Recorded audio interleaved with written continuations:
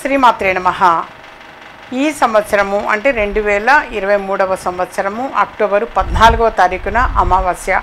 ఆ రోజున బతుకమ్మ అనేటువంటిది ప్రారంభం చేయటం అనేది జరుగుతుంది. అయితే బతుకమ్మ పండుగల్లో తొమ్మిది రోజులు ఏ రోజు ఏ నైవేద్యం సమర్పించాలి? బతుకమ్మ పండుగ ఈ ఏడాది అక్టోబర్ పద్నాలుగు నుంచి అక్టోబర్ ఇరవై రెండు వరకు జరుగుతాయి. మొదటి రోజు బతుకమ్మను ఎంగిలి పూల బతుకమ్మ అని చివరి రోజు బతుకమ్మను సద్దుల బతుకమ్మ అని అంటారు. ఇలా తొమ్మిది రోజులు ఒక్కో బతుకమ్మని పూజిస్తారు. ఆడపడుచులంతా పుట్టింటికి చేరుకొని కన్నుల పండుగగా పూల పండుగ జరుపుకొని చివరి రోజైన సద్దుల బతుకమ్మ రోజు నిమజ్జనం చేస్తారు. ఈ తొమ్మిది రోజులు అమ్మవారికి ఏ రోజు ఏ నైవేద్యం సమర్పించాలి అంటే మొదటి రోజు ఎంగిలి పూల బతుకమ్మ. మహాలయ అమావాస్య రోజున అంటే భాద్రపద మాసం చివరి రోజు లేదా ఆశ్వేజ మాసం ముందు రోజు బతుకమ్మ పండుగ ప్రారంభం అవుతుంది మొదటి రోజు బతుకమ్మ మొదటి రోజు బతుకమ్మ పెంచడానికి ముందు రా రోజు రాత్రే పువ్వులను తీసుకొస్తారు. ఆ పూలతో బతుకమ్మని పేర్చడం వల్ల ఎంగిలి పూల బతుకమ్మ అని పేరు వచ్చినట్లు చెబుతారు. కొన్ని ప్రాంతాల్లో తిన్న తర్వాత బతుకమ్మని పేరుస్తారని అందుకే ఆ పేరు వచ్చింది అని అంటారు. మొదటి రోజు నువ్వులు బియ్యం పిండి నూకలు కలిపి నైవేద్యం తయారు చేస్తారు. రెండవ రోజు అటుకుల బతుకమ్మ. ఆశ్వేజ శుద్ధ పాడ్యమి రోజు అటుకుల బతుకమ్మను పూజిస్తారు. ఈరోజు సప్పిడి పప్పు బెల్లం అటుకులతో నైవేద్యం తయారు చేసి అమ్మవారికి సమర్పిస్తారు. అటుకులను వాయనంగా ఇస్తారు. మూడవ రోజున ముద్దపప్పు బతుకమ్మ. ఆశ్వేజ శుద్ధ విజయ విధియ రోజు బతుకమ్మకి ముద్దపప్పు పాలు బెల్లంతో నైవేద్యం తయారు చేసి సమర్పిస్తారు. నాలుగవ రోజున నానే బియ్యం బతుకమ్మ. ఆశ్వేజ శుద్ధ తదియ నాడు నానేసిన బియ్యం పాలు బెల్లం కలిపి నైవేద్యం చేస్తారు. ఐదవ రోజు అట్ల బతుకమ్మ.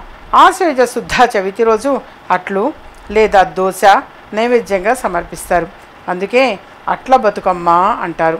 ఆరవ రోజు అలిగిన బతుకమ్మ. ఆశ్వజ శుద్ధ పంచమి రోజు అమ్మవారికి ఎలాంటి నైవేద్యము సమర్పించరు. అందుకని మరి ఆ రోజున అలిగిన బతుకమ్మ అని అంటాము. ఏడో రోజు వేపకాయల బతుకమ్మ. ఆశ్వయుజ షష్ఠి రోజు బియ్య పిండిని బాగా వేయించి వేప పండ్లుగా తయారు చేసి నైవేద్యంగా సమర్పిస్తారు. అందుకే వేపకాయల బతుకమ్మ అంటారు. ఎనిమిదవ రోజు వెన్న ముద్దల బతుకమ్మ.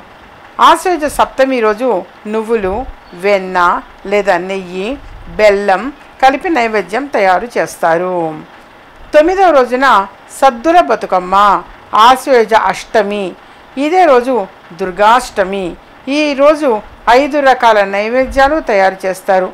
పెరుగన్నం చింతపండు పులిహోర లెమన్ రైస్ కొబ్బరి అన్నము నువ్వుల అన్నము ఇవన్నీ నైవేద్యంగా సమర్పిస్తారు.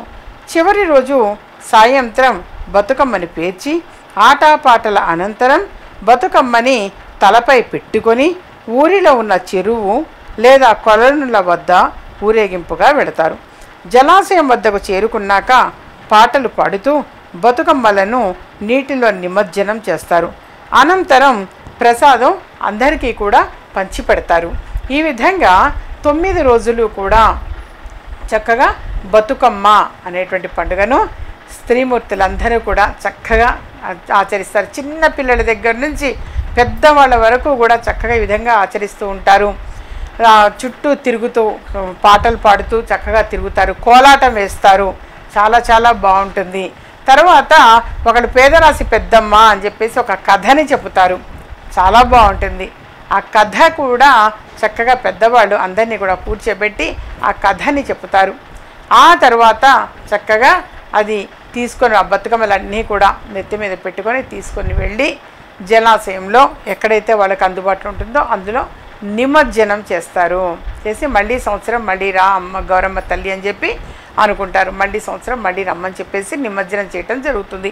ప్రసాదాలన్నీ కూడా వితరణ చేస్తారు. ఆ తర్వాత ప్రసాదాలన్నీ కూడా పంచిపెట్టడము జరుగుతుంది. ఈ విధంగా దసరా నవరాత్రుల్లో చక్కగా బతుకమ్మ పండుగని అందరూ కూడా మరి అన్ని ప్రాంతాల వారు కూడా దాదాపుగా నిర్వహిస్తూనే ఉంటారు. ఈ విధంగా ఆచరించడం అనేటువంటిది సాంప్రదాయం. మా ఛానల్ సబ్స్క్రైబ్ చేసుకోండి షేర్ చేయండి. ఇలాంటి మరిన్ని ఇంట్రెస్టింగ్ వీడియోస్ చూడాలనుకుంటే మా ఛానల్ని సబ్స్క్రైబ్ చేసుకోండి. పక్కన కనిపిస్తున్న ఈ గంట సింబల్ని ప్రెస్ చేయండి.